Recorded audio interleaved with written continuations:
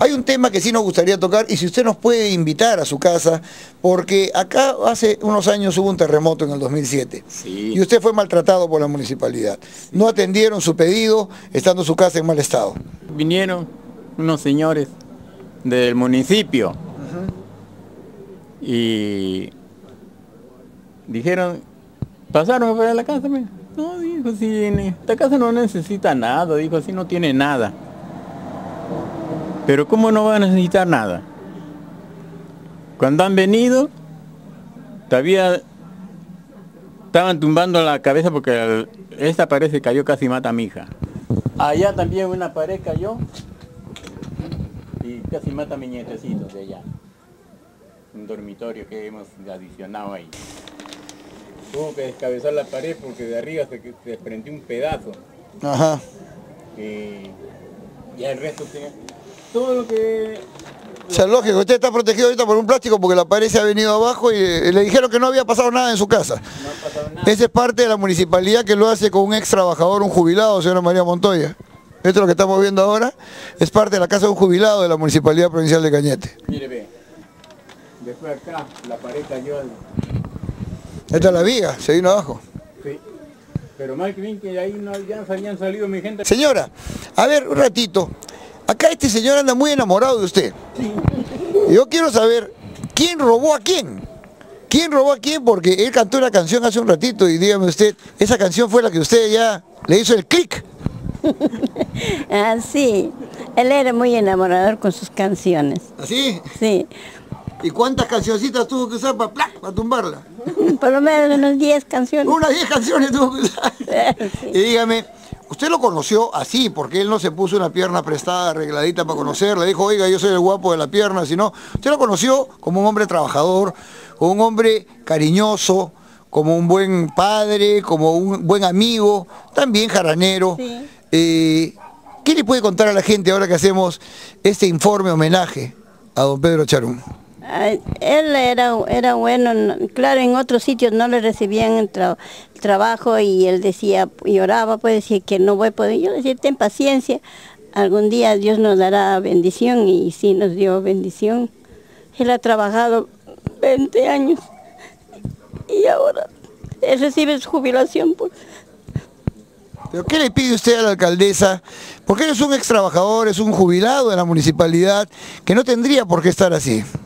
Bueno, pido una ayuda pues, para que mi, mi casa me lo pueda arreglar, porque ya mi esposo es jubilado y ya no, no tenemos cómo este, arreglarlo. Es un obrero o una jubilación pobre, que simplemente lo que le piden a ella es, por lo menos lo que le dio a los demás, ¿no? Después del terremoto, lo mismo para ustedes, una igual situación, no exigen más ustedes. No, eso nomás, porque nosotros fuimos a pedir, pero dijeron que no, no necesitaba, porque estábamos en buena condición. Otros estaban peor que nosotros. Ya por eso no, yo no fui a, ni a reclamarlo, porque es que era por gusto perder el tiempo, si ya me habían dicho que no necesitaba.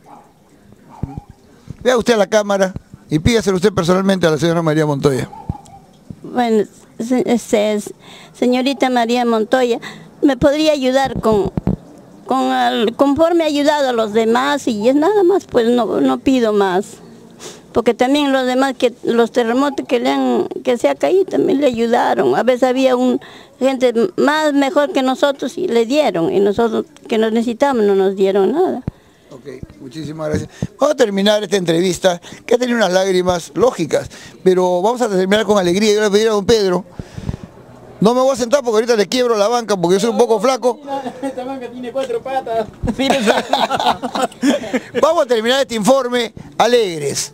Dedique usted una cancioncita. Al dulce bordonear de la vihuela, hoy día se estremece como antaño, al viejo callejón de un solo caño, con el repiquetear de castañuela, y siguen las guitarras con su trino, quitando el sueño a todos los vecinos. alegre taconear, hace crujir al cuarto 16. Al vago varonil de un buen cantor que con sabor en pleno jaranear pide un cajón antes de amanecer. Y empieza la sabrosa marinera, alegre taconear, hace crujir al cuarto 16. A la voz varonil de un buen cantor que con sabor en pleno jaranear pide un cajón antes de amanecer. Y empieza la sabrosa marinera. ¡Bravo! ¡Bravo, bravo! Mira, misión cumplida, hemos estado con don Pedro Charún, conociendo un poco más de él, que el compromiso en la segunda visita, haciendo algo más de criollismo, porque creo que los jóvenes músicos deben rescatar lo de aquellas personas antiguas, como le dicen algunos en la música, pueden darles a ellos. Misión cumplida, gracias Pedro por haberme permitido estar en tu casa, gracias por la amistad y gracias por haberte conocido y darnos el ejemplo con ese carrito que conocimos alguna vez y ahora andas en otro carrito un poco más pequeño, la gasolina ha subido también, pues, no, es que por mi comodidad, porque ya él, como era para trabajar, ¿verdad? Para trabajar rudamente, Claro. era fuerte. Pero ya ahora, como ya no trabajo, tengo que uno suavecito, pues. No es que estoy padeciendo de artrosis. Yo soy la misma. ¿Así? Ahora te cuento, todavía me tuvieron que infiltrar. Bueno, muchas gracias por la visita y nosotros cumplimos, Mireya, nuevamente con tu encargo de visitar a una personalidad de la cultura afro aquí en Cañete.